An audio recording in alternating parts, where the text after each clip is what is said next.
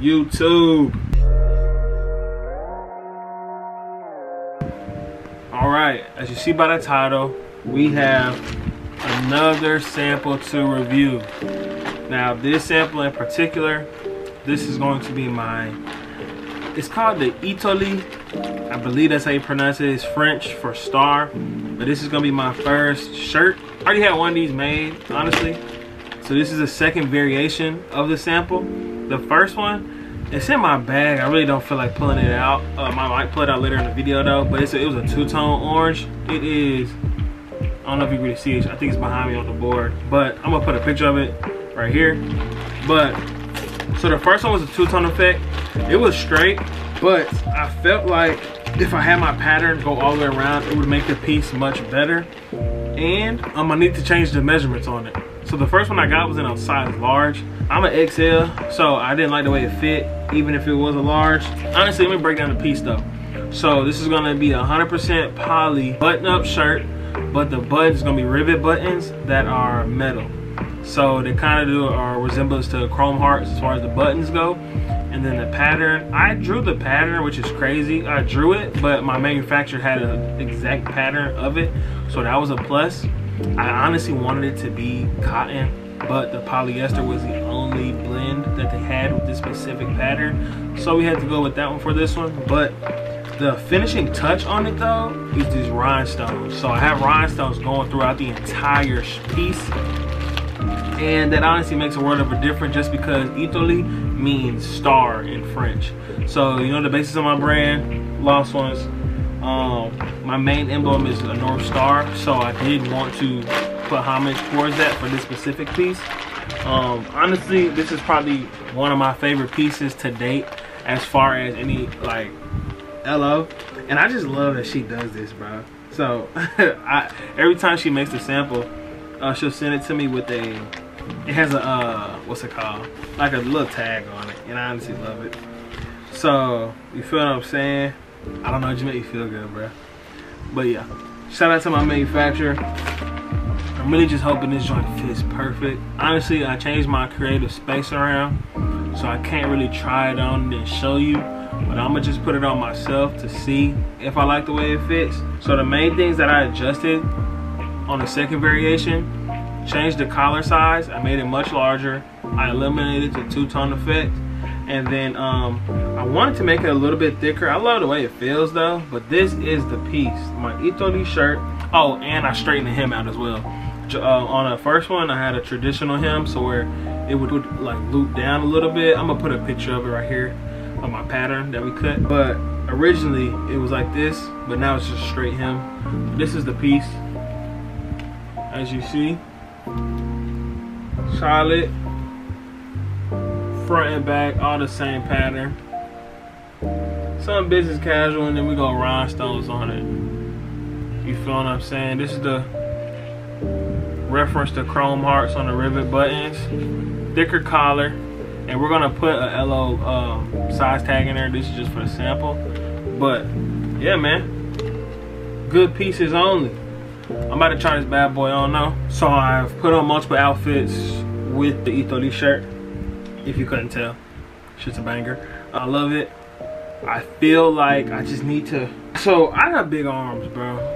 And I know that for me to release something, if it fits perfect on me, that a consumer will love it. You know what I'm saying? And I feel like the last thing that needs to be fixed is these darn arms. I don't know why though. I think it's just coming up too high on the pit. So I might probably drop that. But other than that, this is a 10 out of 10. I'm not gonna lie. Like, be for real, twin. Like, come on, bro. Uh, this, this, this. If you want to purchase this, hit me up right here. But honestly, I love it. This is a 10 out of 10 piece. From my first sample to this one, I ain't gonna lie, it is 12.45 a.m and over Toronto clothes. That's just because I have to keep pushing these pieces out, man. I'm not gonna lie. Like this year is the year we're doing crazy stuff. If you saw two videos ago, no, is it two videos ago? Yeah, if you saw two videos ago, you would see that we got invited to Fashion Week in Vancouver, New York, Tokyo, Paris, all of those. Um, so I have to keep pushing out good pieces, bro. I'm not gonna lie. And this is, I wouldn't say it's scary, but this is just something that I gotta put a lot of time and effort into. So just building on my catalog and the things that I have released, I just know that I have to go all in on them, man. And I have no room. I have room for error, but I don't want to have any errors. Everything I drop this year, I want it to be certified banger, something that's can hit the streets, take off, that can sell itself. That's really the main thing. And I just want to build something. I just want to build a positive resume when it comes to my brand, man. And right now, you know what I'm saying, we're in the building blocks. Y'all seen everything that we are dropping. I've dropped so much stuff. I'm gonna actually drop the last three things that I dropped right here. You feel what I'm saying? And like I'm working, bro. Like this one, this is my favorite piece to date. I'm not gonna lie because you can dress it on every single level. You can go business corp. Like if you want to be the flashy guy, you can wear this to a, a cocktail party you can wear this to the club. You can wear this to a dinner. You can wear this if you're going shopping. You can wear this on a chill day at the crib, bro. Like you can you can wear this on every single level and it still holds its value. And I just want something that will resonate with the buyer in a way and just make the wear comfortable. You know, like with giving it that it is polyester, it has a elegant type of feel to it and I do like that. But I'm going to have to make sure that the consumer understands that, hey, you're going to take this to the dry cleaner. We're not throwing this in your dryer. You feel what I'm saying? We're not ironing this just to get its useful life out of it. You know what I'm saying? Because the price point right now, I don't know what I want to price it at.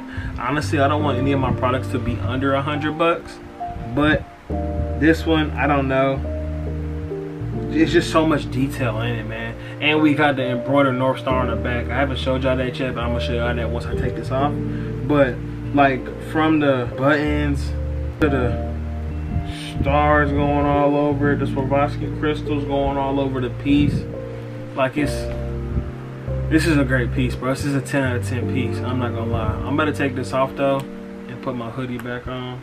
This is easily, easily, easily my favorite piece to date. Right behind my Night Watcher. Like the Night Watcher low key, but even a bro, I wish I matter of fact, I'm gonna show y'all my um, derby trousers. I never showed y'all the derby trousers, bro. And I don't know why I didn't. I think that one was low key just a fast one. Um, I showed y'all the initial ones. We did an initial review in the back if you seen in the previous video, those red trousers. Um, but I released them, man. I finished them. I figured out how to do the rivets on them. I remember that I was telling y'all that was the last thing I needed to fix because they were hanging so I embedded them actually into the fabric so they don't move. Let me show y'all the North Star as well. The North Star is embroidered right here.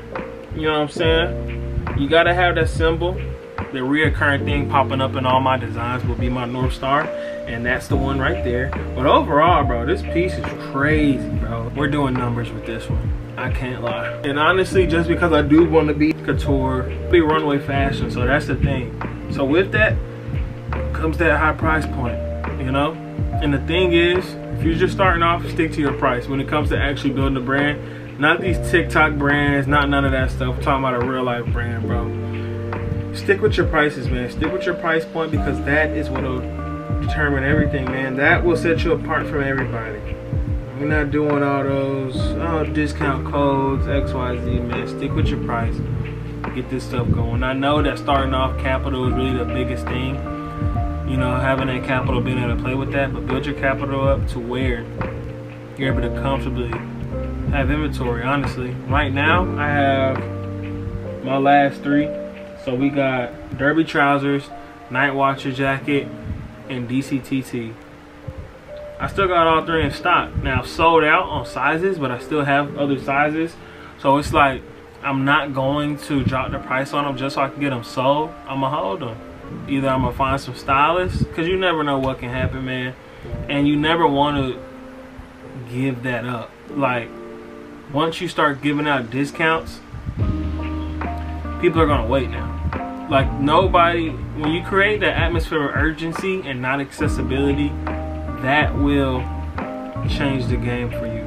because if somebody sees that you're gonna give a discount if it doesn't sell out, all they're gonna do is wait now.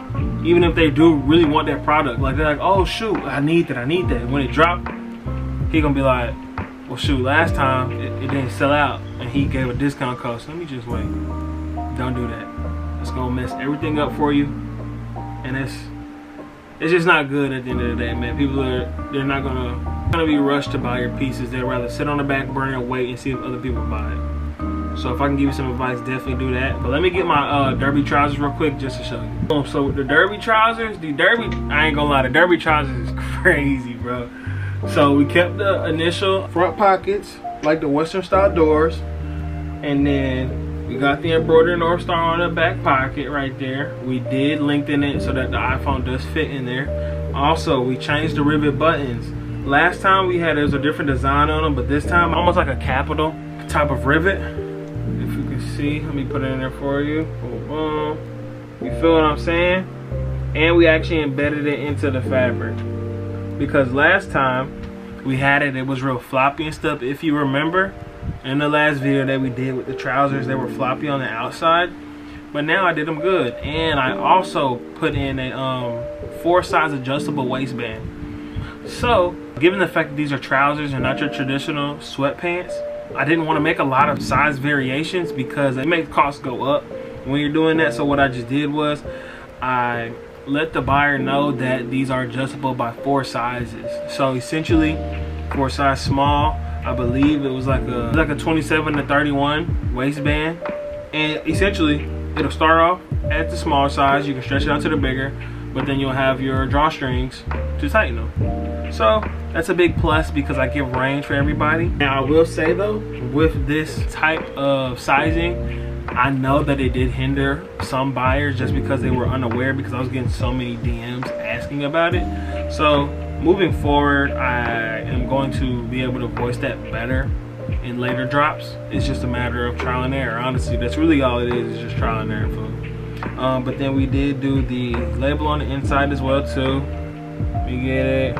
Lost one size small. You can't beat that, man. You always got to do the little details because when building the brand, you just you want to be what you you want to start off with how you want your brand to end up being. So pay attention to whoever you draw inspiration from and how they do their products, and that's how you need to attack your own products, man. But yeah, overall, bro, this is a 10 out of 10. I love these trousers. I'm not gonna lie. We did um, snow snow wash on the front panels, and then as well on the back as well too on it just to provide a little bit of wear and tear little I wouldn't say vintage look but just wear and tear honestly and then these rivets bro like well, these are shank buttons actually. The shank buttons on the side beautiful. Like I'm not gonna lie this is my favorite detail to date as far as all my pieces. This is my favorite one for sure because this was referencing the western belt the ammunition belt that cowboys wore back in the day like, come on, bro. The detail is crazy. My camera's about to die, guys. But all in all, we're working. Just keep going. Never give up. And drop things that you like. At the end of the day, put out things that you like and that you would wear. That is my biggest advice that I could give you. If you are interested in purchasing any of these items, check out the link, link in bio. Follow me on Instagram. Follow the page on Instagram because we're pushing our products all 2024. This year is the year I changed my life with my fashion. And I'm bringing y'all along for the journey, man. Ithori shirt. I hope you guys like this sample. I will be dropping this one very soon. If not this month, next month. So be on the lookout. But this is the next drop that I'm doing, man. I wish you guys nothing but the best. I love you guys. Peace.